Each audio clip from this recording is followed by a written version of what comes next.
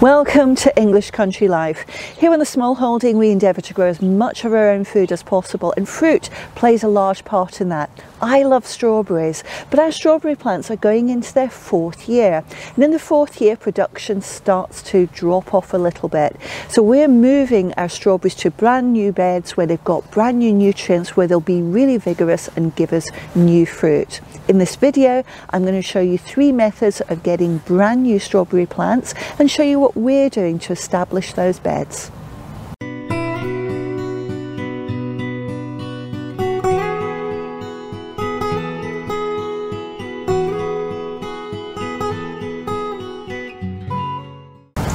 Welcome, my name's Fiona. Here in the small holding we've got 300 square foot of growing space for our strawberries but when we planted these strawberries three years ago we didn't have the variety of fruits that we've got now. We now have apples, cherries, pears, gages, plums, raspberries, blackberries, gooseberries, white currants, red currants, black currants and a whole array and I'm sure I've forgotten some things in there but ultimately what that means is we don't need 300 square foot of strawberries anymore so we're going to be reducing that to 200 square feet. Each of these raised beds is 100 square foot in size but it's not as easy as just taking out one of these beds because over time strawberries lose vigour. Their maximum production is year two and year three but by year four the fruits are getting a little bit smaller and the volume's dropping off and gradually over the years it'll get less and less and the fruit will get smaller and smaller. So this year I'm going to be generating two brand new 200 square foot of growing space and in this video I'm going to be showing you three methods of getting brand new strawberry plants and show you what we're doing doing.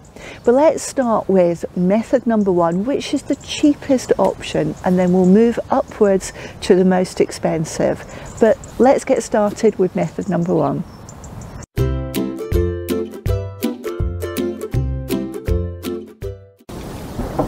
Method number one is the cheapest and easiest way of creating new strawberry plants and that is using runners. Now strawberry plants like to reproduce themselves by throwing out stalks with small plants on the end and if you happen to take that small plant, push it into soil or compost, it'll actually grow new roots and then you can create a brand new strawberry plant. So what we've tried to do is put black plastic pots, sink them into the soil with some compost in, and we've pushed those runner plants into the top of that compost. Now the idea was that they'd grow in that pot we could then just pick the pot up, put it into a new location and create a brand new strawberry bed. Unfortunately, last summer we had a prolonged dry spell and Hugh and I were so busy with other projects that we didn't keep on top of the watering for those plants. Now all the all the mature plants were absolutely fine because their roots were down into the water table, but these runner plants weren't able to establish their roots long enough to go through the bottom of the pot and get water from the water table. So unfortunately, they dried out and we had an epic fail. So that means we need to use a different method of propagation. So let's have a look at method number two.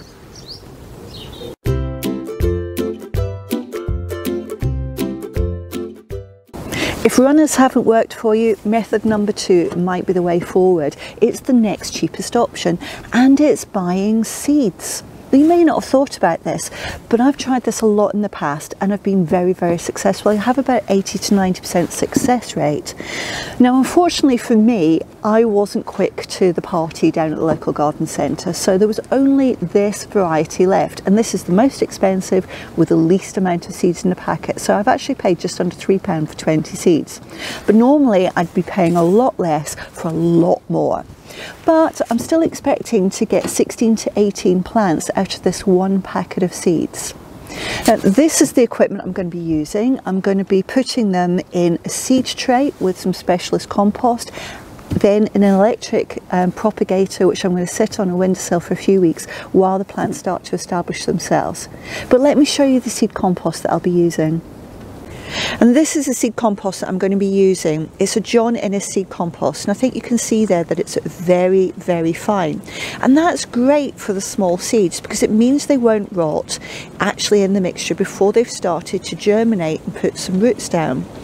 Now the only thing is they do recommend that you add some vermiculite to this mixture just so that when the roots do start to develop the small plants can access some moisture but I don't have vermiculite in stock. And in the smallholders mantra, it's try not to spend any money if you can. So I've had a look around to see what I do have.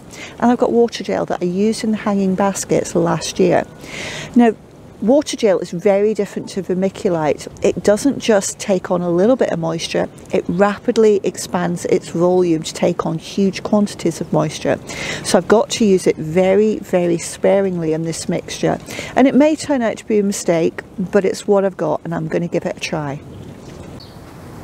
Because the strawberry seed packet only has 20 seeds in it, I've decided to use two 10 cell seed trays. And what I'm going to do is I'm going to fill some of the cells with some compost. Now I'm just going to do four for now so you can see what I'm doing. And when it's loosely reaching the top, I'm going to firm that down and then add a little bit more loosely so it reaches the top again. You might be noticing that I've worn some latex gloves. It's a very good idea when handling compost to be wearing some type of glove. Now because I need to be able to feel what I'm doing because I'm going to be handling seeds, I'm choosing to use latex gloves because it still gives me that sense of touch which you don't get with thick gardening gloves.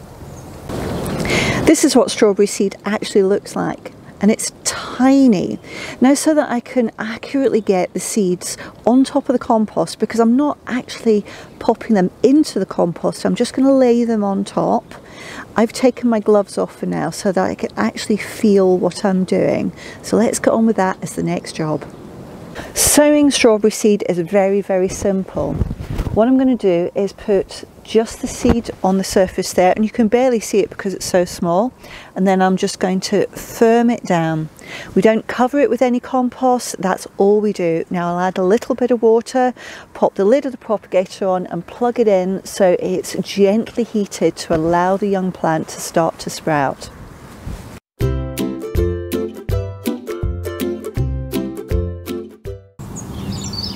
Method number three is to buy some bare root strawberry plants and they're available in winter when there's a dormant growing season so the plants aren't growing anymore.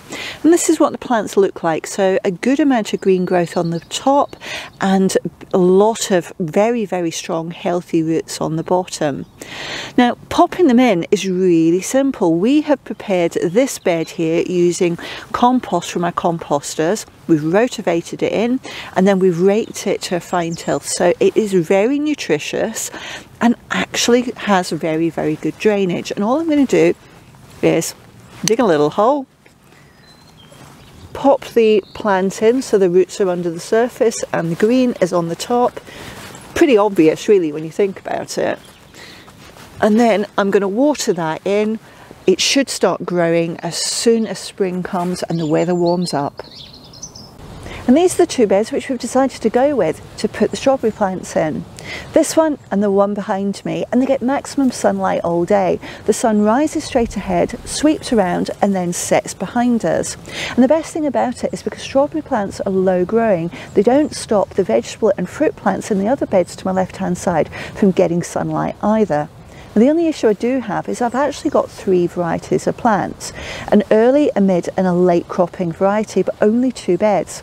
So I've divided up sections so that the early, the mid and the late are in different areas. And to denote where the break is between the varieties, I've just put some yellow pegs in with some orange string between them. Very simple solution to a simple problem. My strawberry beds are now planted with these new strawberry plants and I've got the strawberry seeds started off in the electric propagators. So by the end of next year I should have two well established strawberry beds which are producing lots and lots of fruit in the following year. Now in this coming year, I'm actually keeping my existing strawberry beds in place and that's because I do want to have some fruit. It's unlikely that these plants will be old enough or mature enough to produce anything of any decent quantity. Yes, the existing beds will produce less fruit. Yes, the fruits will be smaller, but at least I'll have some strawberries. If you have liked this content, take a moment and give me a thumbs up down below.